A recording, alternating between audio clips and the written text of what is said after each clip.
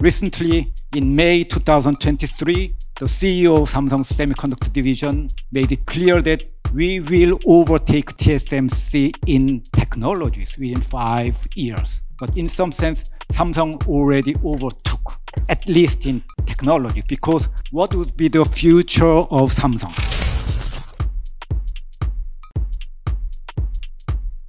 TSMC's motto is famously, we do not compete with our customers. On the other hand, Samsung and Intel has these competitive aspects with fabless, their customers.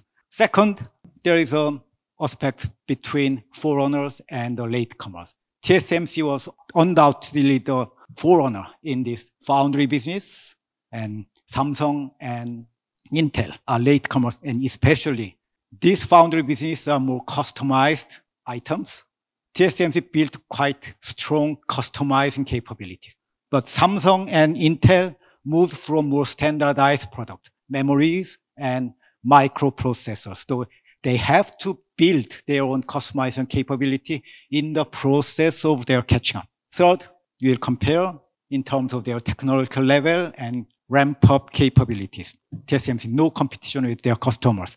Samsung, Intel have this potential actual competition. Secondly, TSMC, they are boasting that we can dance with 400 partners. But Morris Chang once mentioned that Intel, it always danced alone. But Samsung started its foundry business in 2005 and it built up certain capabilities. So I do say Samsung can dance with about 40 partners or so. And in terms of diversity of production, TSMC started from these legacy lines, 20 nanometers or so, even 30 nanometers, and they have all advanced lines. But Samsung and Intel only joined in advanced lines. So they lack this diversity of their production. Also, TSMC as a forerunner, they, it built quite a strong ecosystem, intellectual property rights and packaging and so on. But Intel just starting to establish their own ecosystem, and Samsung is somewhere in between. On terms of technological level, I would say TSMC and Samsung are neck and neck, but Intel is struggling. They claim that they are producing at 7 nanometers, but we didn't see their products as yet. Also, we don't know their yield rate. And in terms of ramp-up capabilities, TSMC is strong. Intel, relatively strong, but its main strength was on design. But Samsung's ramp-up capability is very strong. Traditionally, memory was the center of mass production in semiconductors. I would say Samsung ramp-up capabilities as good as TSMC or even stronger than TSMC.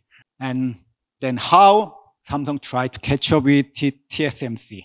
Until the middle of 2010, Samsung with TSMC rapidly. Also in 2014, it even introduced a new technology at the time, 14 nanometers, earlier than TSMC. But as you will see from this figure, from 2018, there's Samsung stagnated.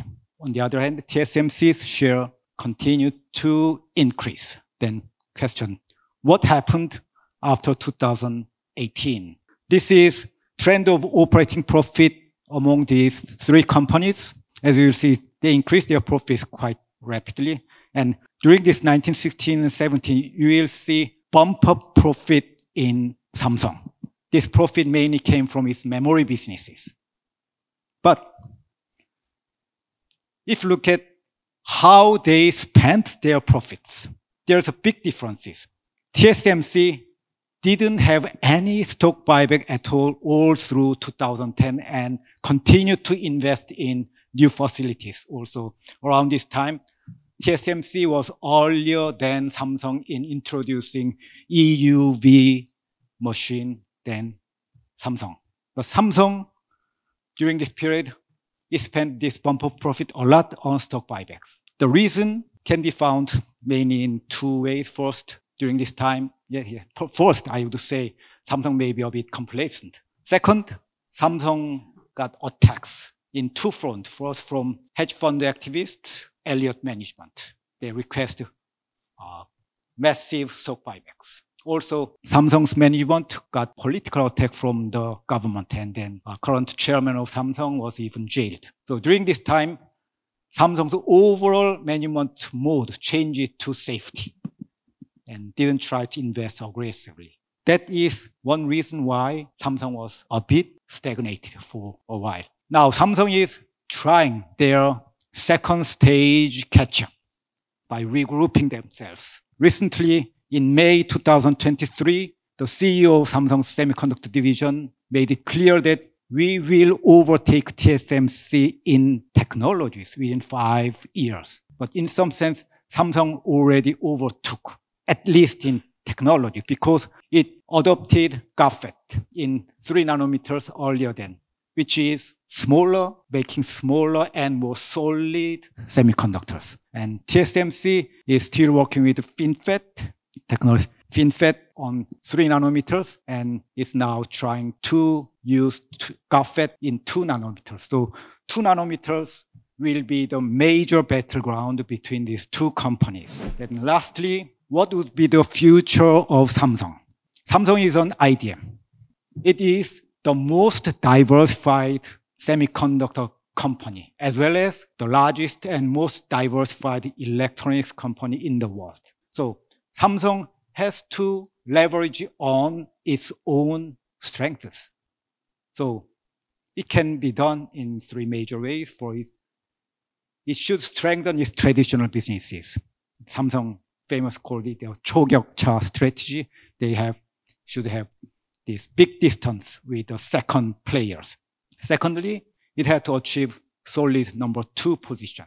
Currently, even if Samsung is number two, its market share is about 12 or sometimes 13% or so, and it needs to increase its market share by improving its technology as well as ramp up capabilities. And third, its strength that TSMC does not have is its design capabilities.